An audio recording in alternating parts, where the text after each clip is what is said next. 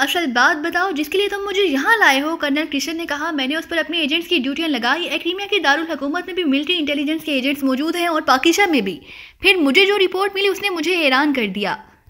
Colonel Ramesh ने कहा, क्या रिपोर्ट मिली है? कर्नल किशन ने चौंक कर कहा, लारा जब पाकिस्ता गई तो उसकी इमरान से मुलाकात वहाँ एक होटल में हुई। उसके बाद स्पेशल स्टेशन में काम से फारिग होकर जब लारा वापस वेलिंगटन पहुँची तो वहाँ उसे पाकिस्ता से इमरान की काल मिली। गोलारा ने कुछ बताने से साफ़ इनकार कर दिया, लेकिन उसके बाद वाकयात में हैरत अंगेज तब्दीलियाँ हुई। कर्नल रामेश ने कहा, क्या तब्दीलियाँ हुई? कर्नल किशन के लहजे में दिलचस्पी का आंसर मजीद बढ़ गया।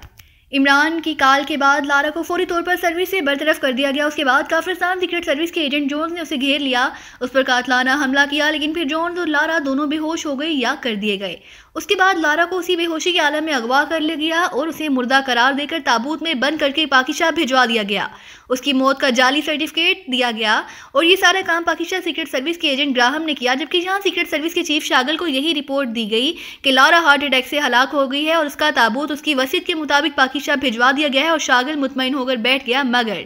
कर्नल रामेश ने कहा, और फिर मगर, अगर मगर कहकर खामोश हो गया। मगर क्या? कर्नल किशन ने कहा, मगर लारा ना सिर्फ़ ज़िंदा थी, बल्कि पाकिस्तान एयरपोर्ट पर इमरान के दो हफ्शी साथियों ने उसे वसूल किया और उसे राना हाउस में ले जाया गया, जिसके बारे में कहा जाता है कि ये इमरान के किसी दोस्त, जागीरदार की महल नुमा कोटी है और इमरान अक्सर वहाँ आता जाता रहता है, कर्नल रामेश ने कहा। तुम्हारा मतलब है कि लारा ज़िंदा है, हलाक नहीं हुई। कर्नल किशन ने कहा हाँ ये बात कंफर्म है कि वो ज़िंदा है क्योंकि मेरे आदमी ने उस हबशी जोसेफ को देखा है कि वो बाज़ार से ऐसे खाने पीने का सामान खरीद रहा था, जो एक्रीमिया और यूरोप में रहने वाले अफराद खाने के आदि होते हैं। कर्नल रामेश ने कहा, लेकिन उसमें आहर अहमियत क्या है? शागल को गलत इतला मिली होगी और तुम्हें सही इतला मिल गई, लेकिन फ़र्क क्या पड़ा? अहमियत किस चीज़ की है? कर्नल रामेश ने कहा, अहमियत इस बात की है, कर्नल किशन, के लारा स्पेशल स्टेशन में तवील अरसे तक काम करती रही है। गोन को सुजाम से स्पेशल स्टेशन तक ऐसे हेलीकॉप्टर के ज़रिए पहुँचाया जाता था, जिसके शीशे कलर्ड थे जिसे बाहर ना देखा जा सकता था, लेकिन हेलीकॉप्टर से उतरने के बाद उन्हें घने जंगल और दलदल ही दिखाई देती होंगी। फिर स्टेशन में दाखिल होने का खुफिया रास्ता एक दरख्त की जड़ में रखा गया था और जड़ में तीन बार महसूस अंदाज में ठोकर मारने पर ज़मीन फटती है और रास्ता स्पेशल स्टेशन बन जाता है। ये भी उस इमरान को लारा से मालूम हो जाएगा। उसके बाद वो स्पेशल स्टेशन का अंदरूनी नक्शा भी बनाकर इमरान को दे सकती है और ये भी हो सकता है कि लारा ने वहाँ काम करने वाले छोटे दर्जे के किसी टेक्नीशियन से बैरूनी हालात के बारे में मालूम हासिल कर ली हो। ये टेक्नीशियन जमीनी रास्तों से ही स्टेशन में आते जाते थे। कर्नल रामेश ने कहा, उससे क्या फ़र्क पड़ेगा? पूरे काफिस्तान में सीक्रेट सर्विस उन लोगों को हलाक करने के लिए अलर्ट है। वो मक्खी मच्छर तो नहीं है, जीते जागते इंसान है या उनके पास सलेमानी टोपियाँ तो नहीं कि वो सलेमानी टोपियाँ पहनकर किसी कोई नज़रों में आए बगैर स्टेशन के अंदर दाखिल हो जाएँगे? फिर स्टेशन के अंदर और बाहर इंतहाई सख्त तरीन इंतज़ाम हैं। तुम्हारी टीम गश्त करती है, चेक पोस्ट बनी हुई है। ये सब जगह वो क्रॉस कर लेंगे? नहीं। वो इस बार लाजमन हलाक होंगे। ये मेरी पेशेंट गोई है, उसे लिख लो। कर्नल किशन ने बड़े अतमाद भरे लहजे में बात करते हुए कहा, जो तुम सोच रहे हो, कर्नल किशन, वो बात नहीं है। तुम्हारी ये बात तो दुरुस्त है कि इस बार पाकिस्तान सीक्रेट सर्विस को हर सूरत में हलाक होना है, लेकिन मैं चाहता हूँ कि ये काफिस्तान सीक्रेट सर्विस के हाथों नहीं, बल्कि मिलिट्री इंटेलिजेंस के हाथों हलाक हों। कर्नल रामेश ने मुस्कुराते हुए कहा तो कर्नल किशन बे उछल पड़ा। ये कैसे हो सकता है? शागल उन लोगों को तम, तुम तक पहुँचने देगा तो वो तुम्हारे हाथों हलाक होंगे कर्नल किशन ने कहा। इसी बात के लिए तो तुम्हें यहाँ लाया हूँ। तुम इस काम में मेरी मदद कर सकते हो कर्नल रामेश ने कहा। मैं वो कैसे? कर्नल किशन ने हैरत भरे लहजे में कहा। पाकिस्तान सीक्रेट सर्विस सांदर जंगल में किसी भी तरह से दाखिल हो। मेरा मतलब है चाहे कारविश से दाखिल हो या सराम से उसे बहरहाल सुजाम पहुँचना पड़ेगा।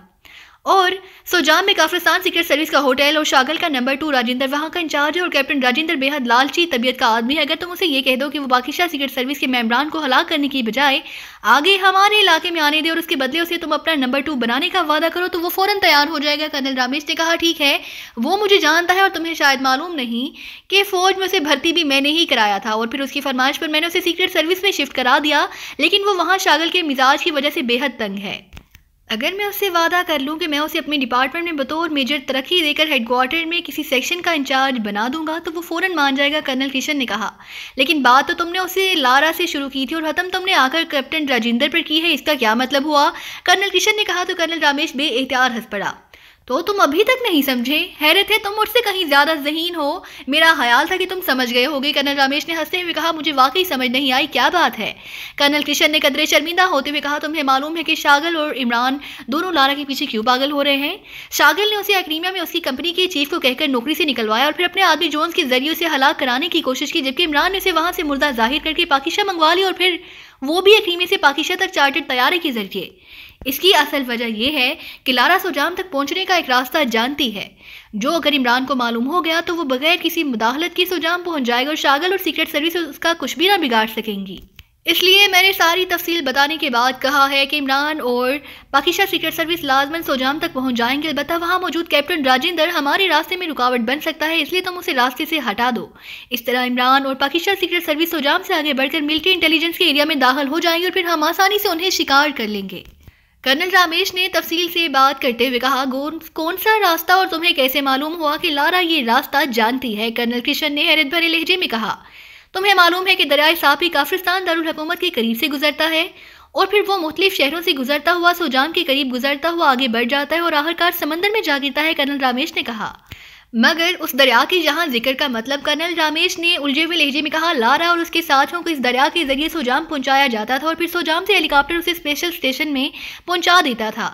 और दारुल हकूमत से सोजाम तक उन्हें एक बंद लांच के ज़रिए लाया जाता था। ये बंद लांच आज भी दारुल हकूमत में दरिया के किनारे पर बने हुए सरकारी घाट में मौजूद है।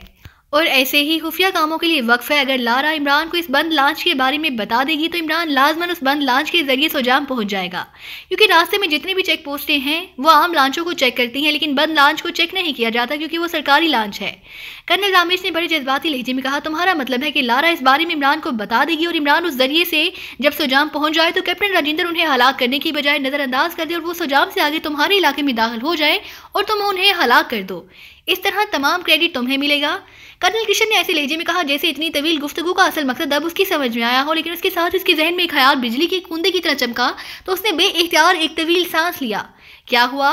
कर्नल रामेश ने पूछा, मुझे याद आ गया है कि जनाबी सदर ने मुझे बताया था कि जो कंपनी ये स्पेशल स्टेशन तैयार कर रही है, उसका तरीकाकार शुरू से ऐसा है कि वो उस स्टेशन को खुफिया रखने के लिए, उस पर काम करने वाले मुलाजमीन की एक माहिर हेपनाटिज्म के ज़रिए मुतलका यादाश्त वाश करा देते हैं और मुझे यकीन है कि ऐसा लारा के वापिस से क्रीमिया जाने की बात किया गया होगा, इसलिए लारा इमरान को कुछ नहीं बता सकती। ना उसे स्पेशल स्टेशन के बारे में कुछ याद होगा और ना ही दरियाए सापी और बंद लांच के बारे में कर्नल किशन ने कहा तो कर्नल रमेश का चमकता हुआ चेहरा यकलहत बुझसा गया। वेरी बैड इसका मतलब है कि हमारी अब तक की सारी गुफ्तगु का कोई फ़ायदा नहीं हुआ, कर्नल रामेश ने मायूसाना लहजे में कहा। इतने मायूस होने की ज़रूरत नहीं, इमरान और पाकिस्तान सीक्रेट सर्विस इंतहाई खतरनाक ग्रुप है, वो लाजमन सोजाम पहुँच जाएँगे और किसी भी तरीके से पहुँचे, बहरहाल पहुँच जाएँगे। अगर सोजाम में कैप्टन राजेंद्र उन्हें नजरअंदाज कर दे तो तुम्हारा काम हो सकता है। कर्नल किशन ने कहा और ठीक है, तुम बहरहाल कैप्टन राजेंद्र के सिलसिले में तुम मेरी मदद करो। कर्नल रामेश ने उम्मीद भरे लहजे में कहा यह काम मेरे जिम्मे रहा, तुम फ़िक्र मत करो, कैप्टन राजेंद्र उन लोगों के रास्ते में नहीं आएगा, ये मेरी जमानत है। कर्नल किशन ने कहा तो कर्नल रामेश ने उठकर उसे बाकायदा फौजी सैल्यूट किया तो कर्नल किशन बे एहतियार खिलखिलाकर हंस पड़ा। इमरान जैसे ही दानिश मंजिल के ऑपरेशन रूम में दाखिल हुआ तो ब्लैक ज़ीरो हसबे आदत एहतरामन उठकर खड़ा हो गया। बैठो, रस्मी सलाम दुआ के बाद इमरान ने कहा, और खुद अपने लिए महसूस कुर्सी पर बैठ गया। ग्राहम का फ़ोन तो नहीं आया। वालिंगटन से इमरान ने पूछा, नहीं। ब्लैक ज़ीरो ने जवाब देते हुए कहा, ठीक है, मैं थोड़ी देर के लिए लाइब्रेरी में जा रहा हूँ। अगर इस दौरान उसका फ़ोन आ जाए तो उसे लाइब्रेरी में शिफ्ट कर देना, इमरान ने उठते हुए कहा। ठीक है, मैं थोड़ी देर के लिए लाइब्रेरी में जा रहा हूँ। तो मुझे बता देना, आपने लाइब्रेरी में क्या देखना है? ब्लैक जीनो ने भी उठते हुए कहा यह बात तो हतमी तौर पर शाहीना लारा से मालूम हो गई है कि स्पेशल स्टेशन मारुति नामी इलाके में है और ये इलाका काफिस्तान के इंतहाई घने जंगल के अंदर है। और वहाँ आज भी कदीम दौर की माशरत रखने वाले ऐसे कबीले मौजूद हैं जिनके कदीम रस्म और रवाज आज भी मौजूद हैं। मैं चाहता हूँ कि वहाँ जाने से पहले उस पूरे इलाके के बारे में ज़रूरी मालूम हासिल कर ली जाए। इमरान ने जवाब दिया और फिर ब्लैक ज़ीरो के सर हिलाने पर इमरान तेज़ से कदम उठाता हुआ लाइब्रेरी की तरफ़ बढ़ता चला गया। फिर वो इस इलाके के बारे में पढ़ने और महसूस तस्वीर देखने में मसरूफ था कि पास पड़े हुए फ़ोन की घंटी बज उठी तो इमरान चौंक पड़ा। उसे ख्याल था कि ग्राहम की कॉल होगी, इसलिए उसने रिसीवर उठा लिया। यस, इमरान ने महसूस लेजे में कहा। ग्राहम की कॉल है, दूसरी तरफ़ से ब्लैक ज़ीरो ने कहा, ओके, इमरान ने कहा। तो उसी कानों में हल्की सी क्लिक की आवाज़ पड़ी। यस, इमरान ने एक बार फिर महसूस लेजे में कहा। ग्राहम बोल रहा हूँ, चीफ। दूसरी तरफ़ से ग्राहम की आवाज़ सुनाई थी। यस, क्या रिपोर्ट है? इमरान ने कहा। चीफ, मैंने जो मालूम हासिल की है, उनके मुताबिक लारा जिस कंपनी में काम करती रही है, उस कंपनी के पास तीन हेपनेटिज्म के माहरीन पैनल में शामिल हैं और मिस लारा पर इस पैनल के सबसे सीनियर माहिर डॉक्टर जिराल्ड ने अमल किया था। ग्राहम ने जवाब देते हुए कहा, तुमने उनका फ़ोन नंबर मालूम किया है? इमरान ने महसूस लेजे में कहा, यस, सर। ग्राहम ने जवाब दिया और साथ ही फ़ोन नंबर भी बता दिया। तो इमरान ने मजीद कुछ कहे बगैर रिसीवर रख दिया। उसके साथ ही उसने दोबारा हाथ में पकड़ी हुई कुतब पढ़ना शुरू कर दी। तकरीबन एक घंटे बाद उसने अपने सामने मौजूद किताबें और नक्शे उठाकर उन्हें उनकी महसूस जगहों पर रखा और वापस ऑपरेशन रूम की तरफ़ बढ़ता आया। एक कप चाय पिलवा दो पढ़ पढ़ कर दिमाग हाली हो गया है। इमरान ने अपनी महसूस कुर्सी पर बैठते हुए कहा तो अब हाली दिमाग में आप चाय भरेंगे? ब्लैक ज़ीरो ने उठते हुए कहा, और क्या करूँ? सारी दानिश तो तुमने समेट ली है। इमरान ने मुस्कुराते हुए कहा तो ब्लैक ज़ीरो हंसता हुआ किचन की तरफ़ बढ़ गया। जबकि इमरान ने हाथ बढ़ाकर रिसीवर उठाया और ग्राहम के बताए हुए नंबर प्रेस करने शुरू कर दिए। उसे चूँकि पाकिशा से एक्रीमिया और वालिंगटन के कोड नंबर याद थे, इसलिए उसे इंक्वायरी से मालूम करने की ज़रूरत पेश ना आई थी। येस पी ए टू डेक डॉक्टर जिराल रबता होते ही एक निस्वानी आवाज़ सुनाई दी। Ali Imran M S C D S C Oxon बोल रहा हूँ पाकिशा से इमरान ने अपने महसूस लहजे में कहा, जी जनाब, फरमाइए। दूसरी तरफ़ से कदरे बोखलाए हुए लहजे में कहा गया, शायद वो इमरान की डिग्रियों से मरगूब हो गई थी। डॉक्टर जिराल साहब से इंतहाई ज़रूरी बात करनी है। अगर फ़ोन पर हो जाए तो ज़्यादा बेहतर है, वरना मुझे खुद पाकिशा से तैयार चार्टेड कराकर एक्रीमिया आना पड़ेगा और आप तो जानते हैं कि उन दिनों तैयारों के करा कितने बढ़ गए हैं? इमरान ने बड़े संजीदा लहजे में कहा, होल्ड करें, मैं बात कराती हूँ। दूसरी तरफ़ से पहले से भी ज़्यादा बोखलाए हुए लहजे में कहा गया, इस दौरान ब्लैक ज़ीरो ने वापस आकर एक कप चाय इमरान के सामने रखा और दूसरा कप वो मेज की दूसरी तरफ़ अपनी कुर्सी पर जाकर बैठ गया। हेलो डॉक्टर जिडाल बोल रहा हूँ। चंद लम्हों बाद एक भारी सी आवाज़ सुनाई दी। Ali Imran M S C D S C Oxon पाकिशा से बोल रहा हूँ, सर, इमरान ने बड़ी मोदबाना लेजे में कहा। D S C doctor of science और वो भी ऑक्सफर्ड यूनिवर्सिटी से। मगर आप वहाँ पाकिशा जैसे गैर तरक्की याफ्ता मुल्क में क्या कर रहे हैं? डॉक्टर जिडाल की हैरत भरी आवाज़ सुनाई दी। पाकिशा को तरक्की देने की कोशिश कर रहा हूँ डॉक्टर साहब। लेकिन आपकी वजह से तरक्की हो नहीं रही। इमरान ने जवाब दिया, क्या क्या कह रहे हैं आप? मेरी वजह से तरक्की नहीं हो रही। क्या मतलब हुआ इस बात का? डॉक्टर जिराल के लहजे में हैरत के साथ साथ गुस्सा भी शामिल था। आपने S V S agreement company के इंजीनियर मिसलारा के जहन को हेपनाटाइज करते हुए डब्ल्यू एस की lower third degree lock lock लगा दी है। और इस लॉक को खोले बगैर पाकिस्तान तरक्की नहीं कर सकते। इमरान ने कहा, क्या क्या आप क्या कह रहे हैं? ये नाम आपने किससे सुना है? डॉक्टर जिराल ने झटकेदार लहजे में कहा हेपमेटिज्म के जादू को डॉक्टर जोहन बर्नार्ड से इमरान ने इतमान भरे लहजे में कहा, ओ, आप कौन हैं? आप कैसे डॉक्टर जोहन बर्नार्ड को जानते हैं? दूसरी तरफ़ से तकरीबन चेखते हुए लहजे में कहा गया, वो मेरे उस्ताद रहे हैं और उन्हें मुझ जैसे शागिद पर हमेशा नाज रहा है। मैं उनसे पूछ लेता, लेकिन अब क्या करूँ? उनके जहन को कुदरत ने डेथ लाक लगा दिया है और ये ऐसा लाक है जो किसी भी तरह नहीं खुल सकता, इमरान ने जवाब दिया। ओह, हैरत अंगेज़, आपसे पहले कभी मुलाकात नहीं हुई। मैं भी डॉक्टर जरना जोहन बनाड शाह का शगिर्द हूँ। इस बार डॉक्टर जिराल ने कदरे मुसरत भरे लहजे में कहा, मुझे पहले ही यकीन था क्योंकि आपने जिस अंदाज में लोअर थर्ड डिग्री लाख लगाया है, वो वाकई हैरत अंगेज है, वरना लोअर थर्ड डिग्री में निन्यानवे फ़ीसद लोग लाख लगा ही नहीं सकते। सिर्फ़ एक ही सूरत होती है लाख लगाने की, कि मामूल के जहन को ब्लैंक करके फिर अचानक फ्लैश किया जाए और फ्लैश होते ही लाख लगा दिया जाए, जो बेहद महारत तलब काम है। इमरान ने तफसील बताते हुए कहा ओ आप वाकई डॉक्टर जोहन बर्नाड के ऐसे शागिद हैं, जिन पर उनको वाकई फहर होगा, क्योंकि इस लाख को जिस तरह आप समझे हैं आज तक दुनिया को कोई हेपनेटिस्ट नहीं समझ सका हैरत अंगेज़ बहरहाल, आप क्या चाहते हैं? डॉक्टर जिलाल ने मुसरत भरे लहजे में कहा, पाकिस्तान को तरक्की देने के लिए मिस लारा का ये इलाक खोलना ज़रूरी है। मेरा ख्याल है कि ये इलाक सेटअप सेट बैक सिस्टम के तहत अपर डिग्री पर खुल सकता है, लेकिन मैं रिस्क नहीं लेना चाहता, क्योंकि अगर ऐसा ना हो सका तो मिस लारा का जहन हमेशा के लिए ख़त्म भी हो सकता है, इमरान ने जवाब देते हुए कहा। अब मुझे मुकम्मल यकीन हो गया है, मिस्टर अली इमरान, कि आप वाकई सब्जेक्ट पर अथॉरिटी हैं। मुझे बेहद खुशी हुई आपसे बात करके। मैं तो पाकिस्तान नहीं आ सकता क्योंकि मेरी उम्र इतने तवील सफ़र के लायक नहीं, लेकिन आप जब भी वालिंगटन आए तो मुझे ज़रूर मिले और आपने लाख खोलने के सिलसिले में जो सोचा है, उसमें एक तरमीम कर दें कि सेट बैक सिस्टम के तहत ना ऊपर, ना लोअर, बल्कि मिडिल डिग्री पर लाख खुल जाएगा। डॉक्टर जलाल ने कहा, लेकिन मिडिल डिग्री का रिज़ल्ट तो सिर्फ़ दस पंद्रह मिनट ही होगा। उसके बाद तो जहन तबाह हो जाएगा। इमरान ने हैरत भरे लहजे में कहा, बारह मिनट गुजरने से पहले मामूल को आप सादा पानी पिलवा दें तो फिर सब ओके हो जाएगा। डॉक्टर जलाल ने कहा, ओह अब मैं समझ गया वेरी गुड आप वाकई डॉक्टर जोहन बर्नार्ड की जानशीन हैं। मैं जब भी वेलिंगटन आया, आपसे ज़रूर मुलाकात करूँगा। गुड बाय थैंक्स इमरान ने मुसरत भरे लहजे में कहा और उसके साथ ही इसने रिसीवर रख दिया, उसका चेहरा मुसरत से खिला जा रहा था। क्या कोई बड़ी खुशखबरी मिल गई है? ब्लैक ज़ीरो ने इमरान की हालत देखते हुए कहा हाँ एक आलम इन आदमी से जुबानी मुलाकात हो गई है। मेरा ख्याल है कि हेपनाटिज्म के मौजू पर इस वक्त डॉक्टर जिराल अथॉरिटी है। इमरान ने मुसरत भरे लहजे में कहा। लेकिन वो तो आपकी तारीफ़ कर रहे थे। ब्लैक ज़ीरो ने मुस्कुराते हुए कहा, बड़े लोग छोटों की हमेशा हौसला अफजाई कर दिया करते हैं। क्या आप वाकई शाहीना लारा का जहन नहीं पढ़ सकते? या आपने सिर्फ़ कन्फर्मेशन की है? ब्लैक ज़ीरो ने कहा, मैंने कोशिश की थी। लेकिन मुझे महसूस हुआ कि मेरी इस कोशिश का नतीजा शाहीन लारा की मौत की सूरत में भी निकल सकता है, इसका जहन खत्म हो जाता और वो हलाक हो जाते, लेकिन अब मैंने इस पर हिप्नाटिज्म का असर खत्म करके उसका जहन पढ़ने में कामयाब हो जाऊँगा, इमरान ने कहा। इमरान साहब, इस मिशन के सिलसिले में आपके पास वक्त बेहद कम है, लेकिन आप इस बारे में सुस्त नज़र आ रहे हैं। इसकी कोई खास वजह है, ब्लैक ज़ीरो ने कहा। मैं इस मिशन पर अंधाधुंध कोई कार्रवाई नहीं करना चाहता। मैंने मारुति के बारे में नाटरान के ज़रिए जो मालूम हासिल की थी, उनके मुताबिक ये सांदर की खौफनाक और घनी जंगल का दरमियानी इलाका है, जहाँ खौफनाक दलदले में है और ऐसे कबीले भी वहाँ रह रहे हैं, जो अभी तक कदीम दौर की वैश्यों जैसी हालत और कैफियत में रहते हैं।